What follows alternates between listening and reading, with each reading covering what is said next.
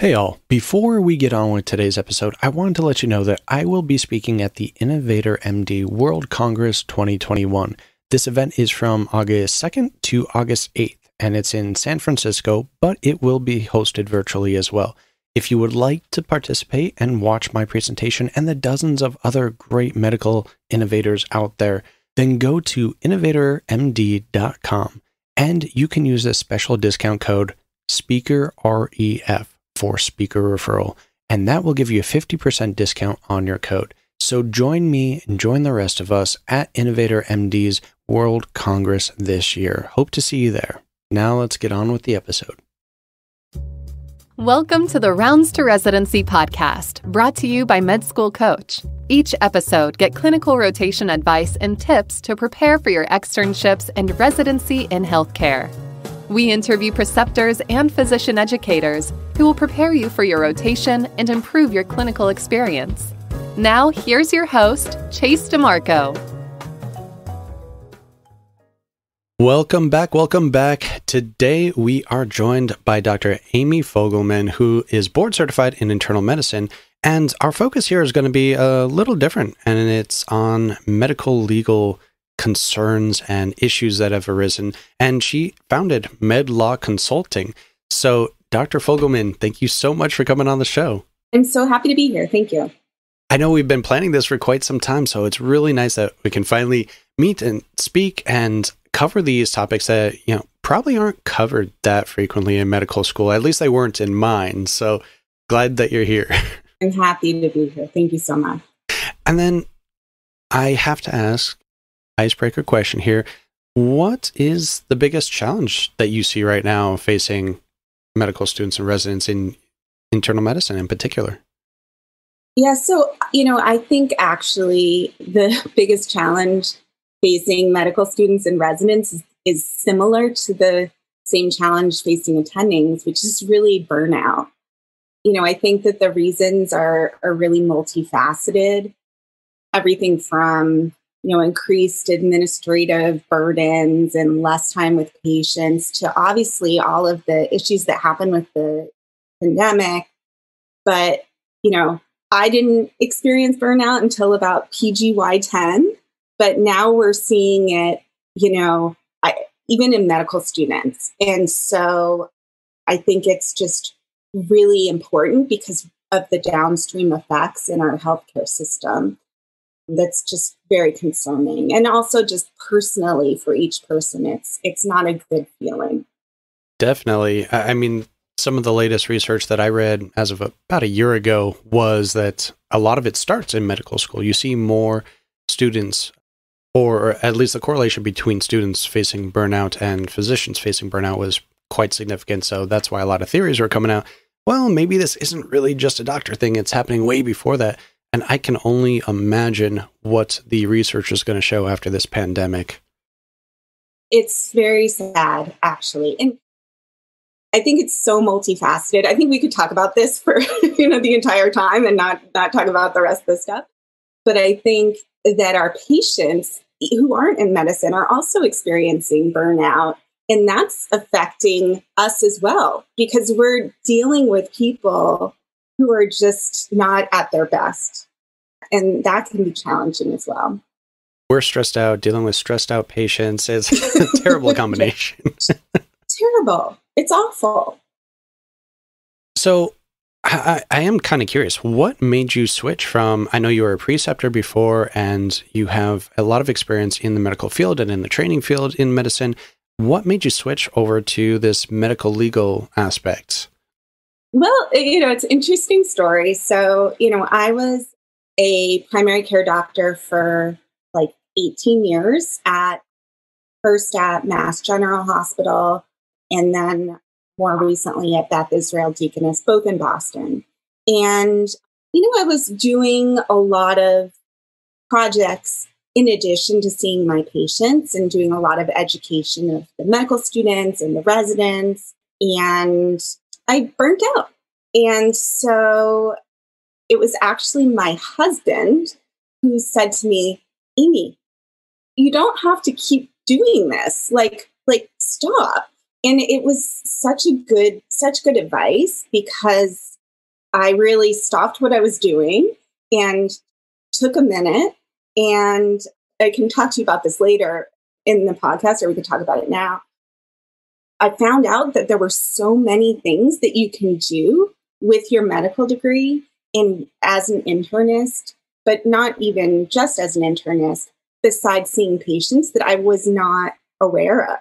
And so I met with this career coach. It was completely life changing. She looked at, you know, what it was intrinsically inside of me that I was good at, that I enjoyed doing, that I wanted to do. I had like thousand cups of coffee with non-clinical physicians and just said, you know, what's your life like? What what do you do during the day? And it was funny actually. I realized that my husband is not a physician, he's an attorney. And over the table for years, I've been giving him free medical legal advice about his cases. And it was like a light bulb went off that, oh, this is interesting. This is something that other attorneys may need my assistance with this. And I'm really good at it and I really like it. And so I created a company based on that. And it's been so good. It's I've been, you know, using my creative parts of myself that I haven't used since like elementary school. It's really fun. I'm really enjoying it. Nice. I think that's a huge issue, in my opinion, anyway, is that when you're in the medical education field, you know, when you're in medical school or even early residency, you don't really see the other options necessarily. I know there are some groups that are working more on the non clinical aspect and bringing this increased awareness to physicians. But when you can't see the light at the end of the tunnel, when you only see this one path and a lot of things are being thrown in that path, I come across it every day, then it's going to increase your burnout, that stress level that's associated with it. So I think just being aware that whether you go into clinical practice or not is not really necessarily the end goal. It's not necessarily the best fit for you either. Knowing what other options exist out there and being more in the medical education sphere so far, it really can take a lot of that burden and burnout off of your shoulders. I think that's really true. And I think your listeners are at an advantage that they're really trying to learn about the ins and outs of the different things that there are. I mean, I was so silly. When I did my medical school, I thought, oh, the only residencies out there must be the only re- things that they require me. I mean, I didn't even know about certain things when I went into residency. There were a uh, preliminary residents in fields that I, I didn't know what they were. And so the fact that I made a choice for my career without having considered all of the potential options is just nuts. You know, I probably didn't have enough time, and there's a lot of reasons why I did that, but it ended up being fine. I don't, I don't. it was not the best way to make a huge decision that affects your future. The way I chose my residency was that I really, really wanted to be like my medical intern when I was a sub I. She was so smart and so thoughtful. And I was like, I want to be like her. And that's how I chose my field. Now, internship is one year. I've been an internist for 20 years. So for that to be the reason that I selected my field is silly. And so I think it's really smart for your listeners to be hearing all the different options and hearing what attendings do in with their lives and kind of really considering the the vast choices that there are out there. But the other thing I want to say is that you know, I was also on the mistaken I thought that once you got on the treadmill, you were stuck. And oh, you go to internship, you do the residency, you choose the specialty. I didn't understand that actually you can stop seeing patients and there's a vast plethora of options to choose at that point. So there's always options. You're never stuck. I love that we're getting so many physician endorsements for this show. So thank you for adding to that. We need to put a little sponsorship recommended by your doctor. I, I, think that's extremely important though, because two things that really stood out is one, yeah, a lot of students make decisions based on their limited experience during rotations, during their clerkships. And that is unfortunate because they might not have had the best rotations in this or that that they might be better suited for.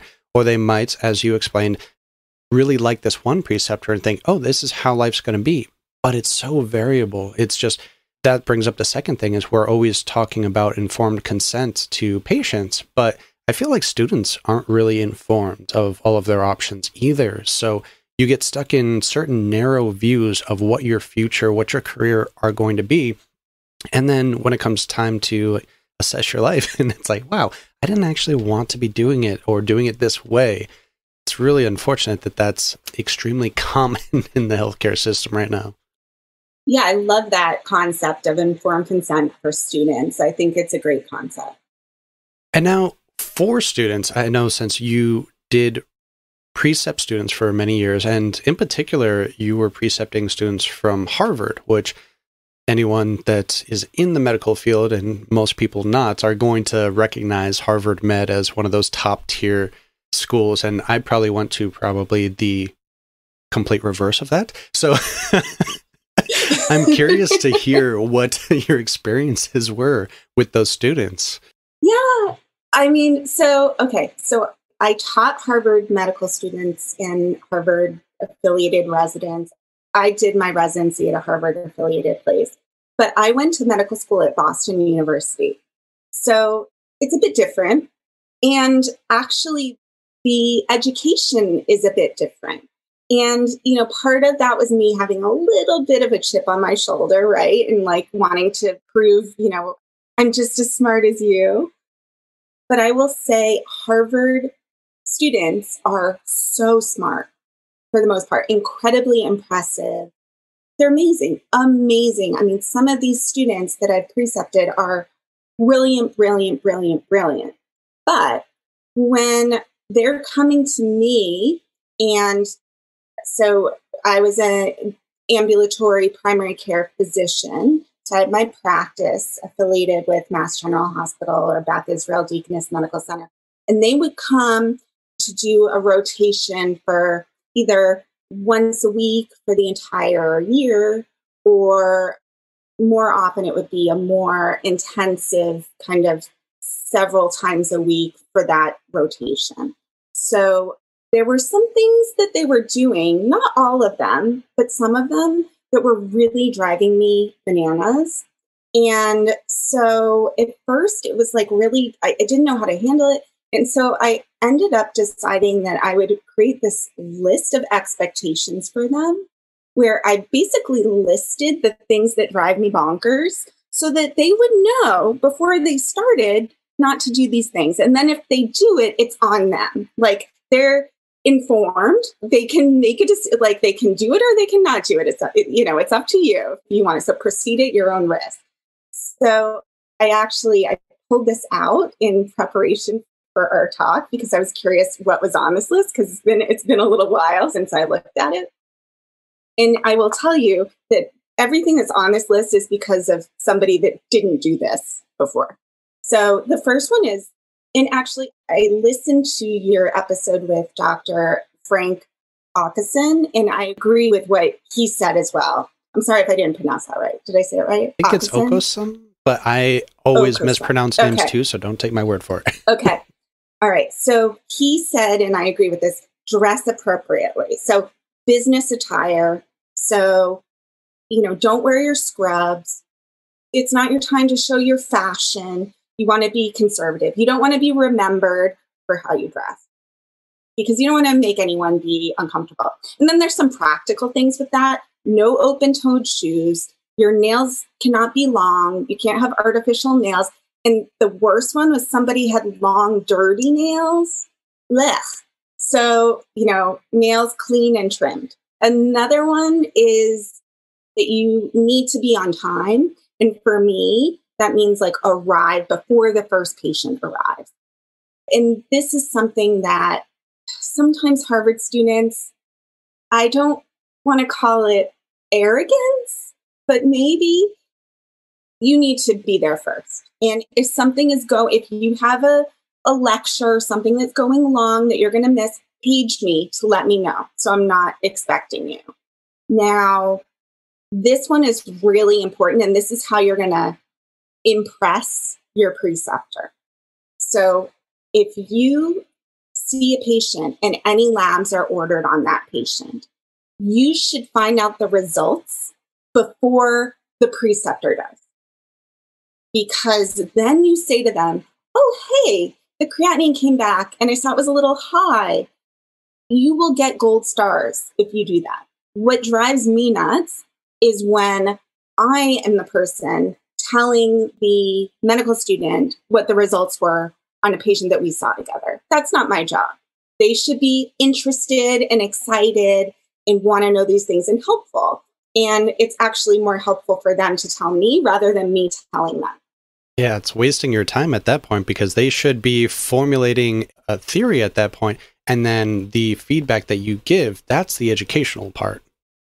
Exactly. Exactly. A hundred percent. And, you know, I think that sometimes students are a little confused about that. They need more direction. They want me to say, oh, you have to do X, you know, to really give them homework. I'm not going to do that. I'm not going to babysit you. If we see patients together, we ordered tests. You should be writing the notes on the patient. You should be knowing what we ordered. And if you don't understand why we ordered it, you should go and look that up so you get it. And if you still have questions the next day, then ask me. But that's how you're learning about these things. And then the other thing, there's two other things that are important, which are, well, three. One is that when you have a clinical question, look it up. And that's your home. I mean, that's how you learn. This is something that Harvard students do really, really well. This is how they're, a lot of medical schools, I think, are changing to this kind of curriculum where it's based on the patients that you see. That's how the things are going to stick in your mind is to put it in a clinical context. So look it up and then you should present it to me the next day. Say like, "Oh, hey, I this came up. I looked it up and this is what I found out."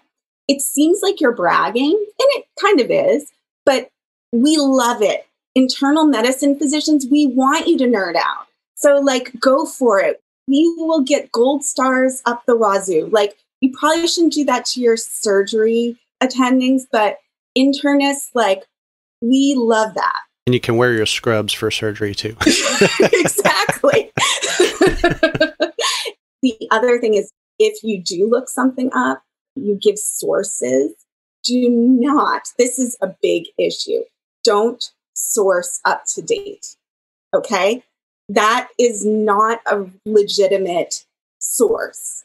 You need to look at primary sources. So a trick is you can use UpToDate to look it up and then you can see what they referenced and then look at the primary source and read it that way just to you know so you can kind of trick it so you don't necessarily have to do a pubmed search but you should know if you want to be the level of a harvard med student you should be able to know about the primary sources and give those sources and internal medicine physician that's what we want to hear. We want to hear about the JAMA study and, and which trial it was and all of that stuff. Yeah, I have not heard that. I mean, I've definitely had preceptors say, oh, just go look on UpToDate.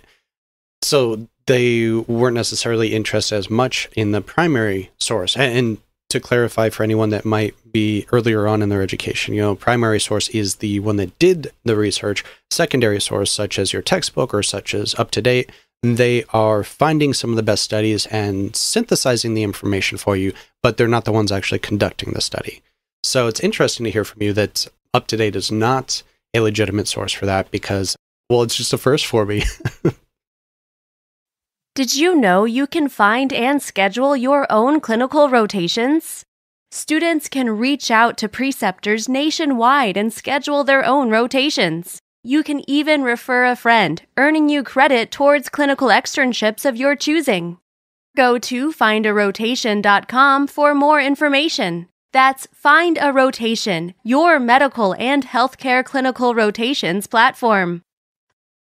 If your attending asks you to give a presentation the next day on rounds about the best treatment for congestive heart failure today, then there's certain seminal studies that have been done that explain why we treat with certain things that we do. And so you should know what those seminal studies are and not say, well, it's just because UpToDate said so. That's what the expectation is in internal medicine at a top tier place. Okay. One more question before yeah. I, will let you finish yeah. your list. what do you think about the expert recommendations? Because if we're talking about cardiology, you could go to the Heart Association, American Heart Association, and find their recommendations. But a lot of times, medical specialty organizations make expert recommendations not based on evidence. Which is exactly why you need to know where all of those recommendations are coming from, which is the trials themselves. So that is a hunt. You you explained why we want to know the the primary information as opposed to the recommendation. Okay, fair enough. All right. Sorry, I keep cutting you off. I'll let you finish your list. you just need to be interested. Even if you know you're going into orthopedic surgery and you arrive and you're like, I hate internal medicine, I hate writing notes, I don't want to do this, just pretend and be nice. You don't have to pretend that you love internal medicine. You need to learn these things. And this is how you're going to learn it. And if you're too, you know, too cool for school, you're actually going to be a worse surgeon because you didn't get these basics as a medical student. So, you know, I don't expect you to be at the same level as someone who really wants to go into internal medicine. They're going to be the nerd out gold star student. And the orthopedic surgeon student may not, you know, do all of that, but at least they're still following up on everything. They're still, if they don't understand what it is, they're looking it up. You know, there's still some basic things that you want to do. To show appreciation to your preceptor for the time they're dedicating to teach you will get you yeah. a long way. It sounds this is also probably the third time that some comparison to this has been made, but always reminds me of the show Scrubs. You have the internal medicine nerds and then the surgeon jocks. That's true. I haven't watched that in a long time, but it was made a show for a reason. You know? It was actually voted as one of the most accurate medical shows one year, which is hilarious because it's a comedy. Really but great show. Okay, so we now have a lot of the expectations and mistakes that even the Harvard medical students, yes, with a little pinky in the air there, they're not make. like that. They're not. They're. I love them. They're great. They really are good. They're. They're good. I went to a Caribbean school, so like complete opposite. I'm sure in so many ways. Well, all right. So with some of these potential issues that we've discussed, I know that there are a couple of topics we brought up in our communications before that I really want to get some clarification on. And the first one is the delay or failure to diagnose as a medical expert. So, what you're talking about, just to kind of like step back a little bit, is so part of what I do is I'm, I'm a medical expert for things that are inside my niche, but more importantly, I match attorneys to medical experts in their fields. And I also kind of teach newbie experts how to get into the field. So, being a medical expert is a really, really cool side gig for somebody who's clinically active. You can do it in any field. Can't do it if you're not seeing patients. And so, when we're thinking about, so it doesn't just have to be medical malpractice cases, there's other cases that need medical experts. If you got into a car accident and the plaintiff suffered some kind of a damage, you know, an elbow, a hurt elbow or something, they may need an expert to explain the extent of their injuries. But when we're talking about a medical malpractice case, this can happen when there's an issue like a failure to diagnose. So that's a common primary care expert witness request.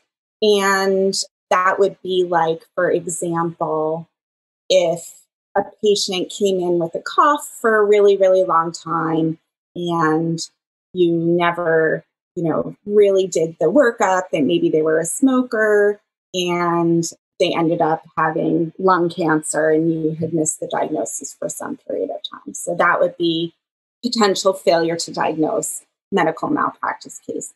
Another one might be if this is like the bane of a primary care doctor's existence, you know, every time a patient has any kind of imaging, it gets sent to the primary care doctor, right? 1,000, 2,000 patients on your panel, and they're going, you know, to this, that, and the other thing. It's hard to keep on top of all this stuff. If they got a CT scan for something, and it, you know, maybe it's not in the finding, in the in the interpretation, but in the findings, there's some kind of a mass noted. That's on the PCP is is may get sued for that if they don't follow that up. You know, whether that is is fair or not fair, we, we could debate. But that's another one where a primary care doctor may be called to talk about what the standard of care is in, in that case. And it's interesting because as we seem to be changing a lot of things in medicine these days, especially you since the pandemic has hit, but I know there's been a push towards more team activity within the hospital where you don't just have your primary care physician being the go to person. Have you noticed any potential medical legal issues in that realm? Like, who is actually responsible if you work as a team? Is everyone responsible, or does it fall on the lead, or how does that work?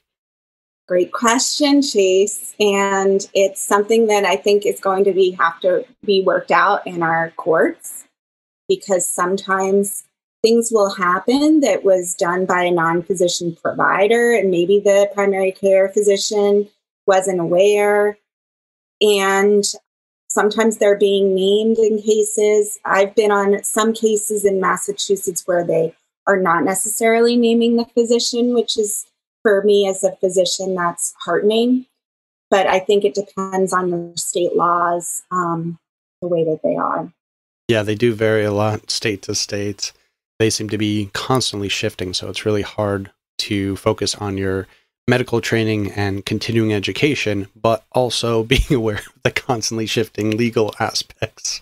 Yeah. I mean, I think that that definitely this fear of getting sued is something that is definitely part of burnout. I will say there are, depending on your field, you're going to get sued. And I know this now even more so because when I'm matching physicians as experts to attorneys, one of the questions I ask is Have you ever been sued? And depending on their field, the answer is, Oh, yeah. and it's like every single person I is like, Oh, yeah, this is completely normal. It's very field dependent, but I think that it can be so heavy and depending on your personality, you just feel terrible. And I think, you know, the way that it's so pointed towards the physician, it feels like, you know, it's going to ruin your career. It doesn't necessarily do that, especially if it's like a systemic failure. So, one thing that's interesting that I don't know that you're aware of, but like in Massachusetts, they've capped nonprofits where you can only sue them for a certain amount of money. I think it's hundred thousand or maybe two hundred thousand dollars. So the way that plaintiff attorneys get around this is that they name individuals. So rather than naming, you know, XYZ hospital, which may actually be really the thing at fault because of their EHR system that they designed or the people that they hired or some sort of uh, system error, they end up you know, suing the physician and the radiologist and the surgeon that were all involved so that they get individuals named. And, you know, the physician themselves don't pay for anything because your medical malpractice that the hospital is covering pays for it. It's a really messed up situation because it, it is a person, it hurts you personally. Yeah, that sounds extremely stressful. And I think I've heard that in certain states, but not sure which ones that might apply to. Not the cap on nonprofits, but that they generally are always going to, when possible, uh, attach the physicians' names in there just to have more potential people to go after, if nothing else. So very stressful. And out of curiosity, since you said some specialties are like, oh yeah, I'm getting sued this week, yeah, which ones are more likely to be sued? Uh, neurosurgery, vascular surgery, OBGYN. Okay. I don't like surgery, so that's fine. yeah. Okay. And OBGYN, I wouldn't, well. Because of if there's a outcome, it's really devastating because the OB. Yeah, right when that was coming out of my mouth, I thought of an instance during my OB-GYN rotation that was not pleasant. So, yeah, okay, I can understand that. Yeah, if you have an, a, a child that is born with anoxic brain injury that could have been prevented, that's probably the worst thing that could possibly happen. Well, it sounds like possibly internal med is not as liable as some well, of the others? you know, it depends. Um, but you're still the primary care for most. Depends how anal you are. yeah. Yeah. Okay. There's one last topic I wanted to bring up, and that was involving the kind of differences in being an MD versus a mid level when you're discussing these sort of legal ramifications. And how does that differ? The standard of care is a legal definition, and it depends on your state somewhat, but it, it really is a legal definition. We, as physicians or as a medical community, can't say anything about the standard of care. It's not like bad people that are doing it. The standard of care is talking about a similarly trained person in a similar circumstance as you, you know, with the similar resources the idea is that you're trying to compare apples to apples. So you wouldn't want to say, if I'm giving a standard of care opinion, I would say what I thought the standard of care is for someone like me. I wouldn't be able to give a standard of care opinion about a cardiologist because I don't practice cardiology. You know, so in general, it probably makes more sense for nurse practitioners to opine on what is standard of care for nurse practitioners and physicians to opine on standard of care for physicians. And that's because of the legal definition of what it means. And I know a lot of physicians get really rankled about that. And I understand why, because they're like, I don't understand because a nurse practitioner could basically order any of the tests I can order and those have the same risks, but they have a different amount of training.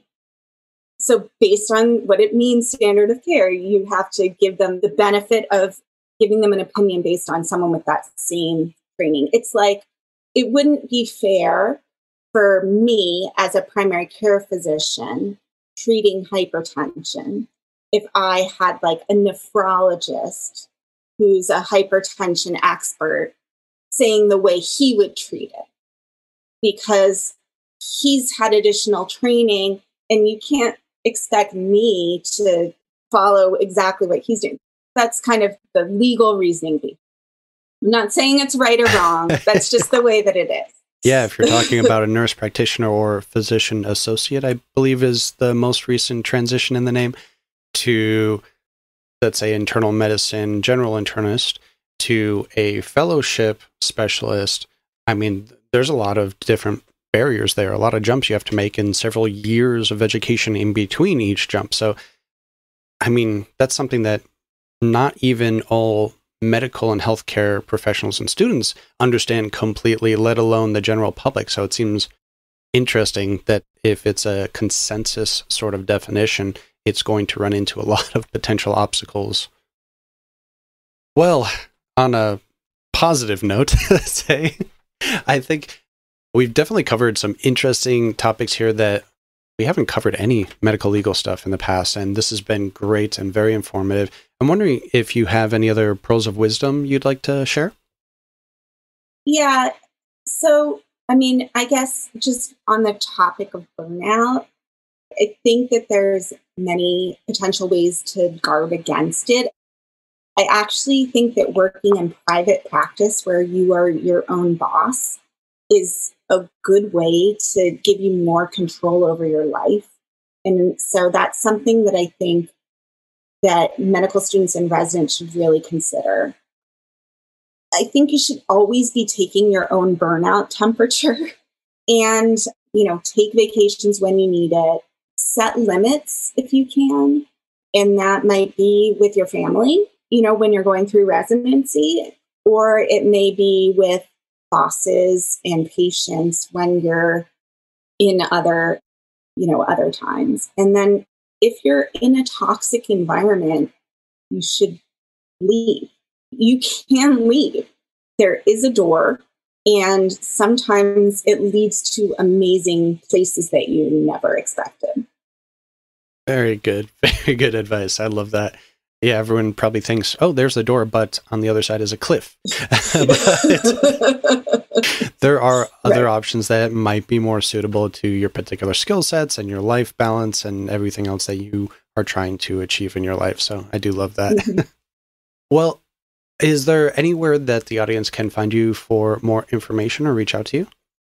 Yes. Yeah, so I'm on social media. My handle is Amy Fogelman, F O G E L M A N M D.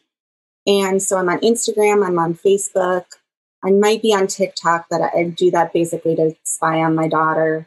And then on LinkedIn, I'm just Amy Fogelman.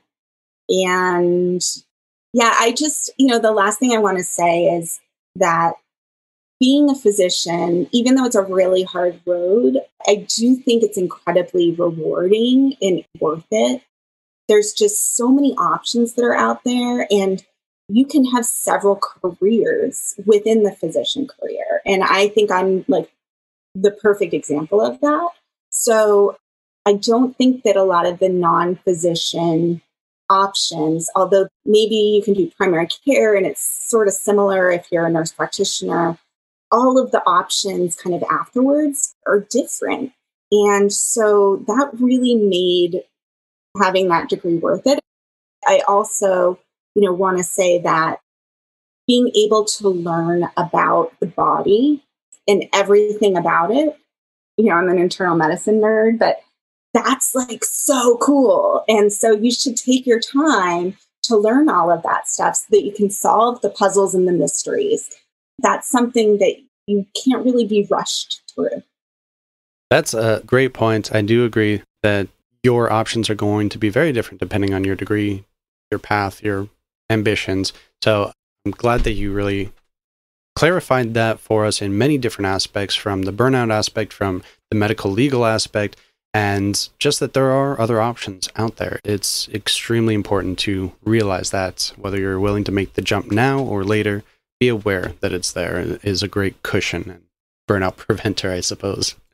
Yeah, I mean, I will just say that you have the opportunity to do some medical expert work starting as early as residency. I mean, it's not as often, but you can. So it's definitely something to consider. And you can follow me on Instagram where I give a lot of tips about it. It's a great side gig, it's a great way to make some extra cash. Awesome. well, Dr. Amy Fogelman, thank you so much for joining us today. Thank you so much. The Rounds to Residency podcast is powered by Med School Coach. To access Med School Coach services, like USMLE tutoring or residency admissions advising, visit our website at medschoolcoach.com. Good luck as you prepare for your board exams, and we hope you tune in again next time.